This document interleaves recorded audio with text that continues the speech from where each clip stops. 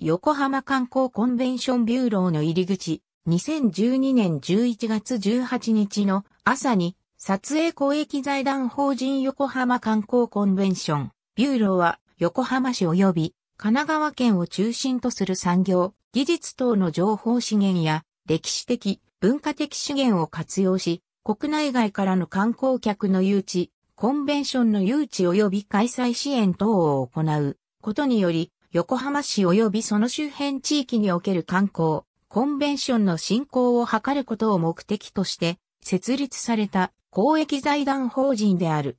AB、平成22年度横浜市外郭団体白書。横浜市。2012年5月8日閲覧。ABCD、公益財団法人横浜観光コンベンションビューロー、組織概要、横浜市、2021年1月21日閲覧、ABC、公益財団法人横浜観光コンベンションビューロー、事業概要、横浜市、2021年1月21日閲覧、